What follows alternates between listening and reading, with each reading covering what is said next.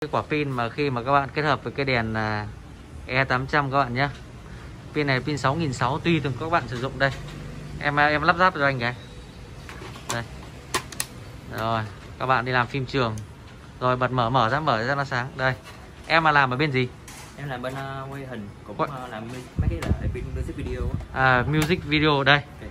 sáng chưa? Đây là không có dây đây em em bỏ ra nhìn không có dây không có điện đóm gì luôn. Đây tuyệt vời chưa? Đấy em quay quay đằng sau cho anh cái rồi e 800 đây hai quả pin này. Hai quả pin này thôi tôi cứ bán triệu rưỡi.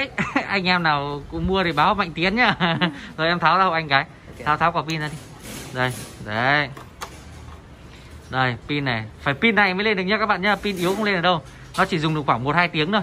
Không theo mạnh mạnh tiến nghĩ là không được hơn đâu. Nên là các bác đừng chém gió quá 4 5 tiếng là không có đâu nhá. Một hai tiếng thì mình đoán vậy chứ mình chưa kiểm nghiệm nhiều. Ok còn quả pin kia nữa. Đấy. Đấy. đèn không thì hơn triệu mà hai quả pin khoảng hơn triệu nữa. Tốt nhất là mua đèn đừng mua pin vì nó đắt tiền các bác ạ. Rồi cảm ơn anh em. Khoảng hơn 2 triệu anh em nhá. Rồi cảm ơn các bác rất nhiều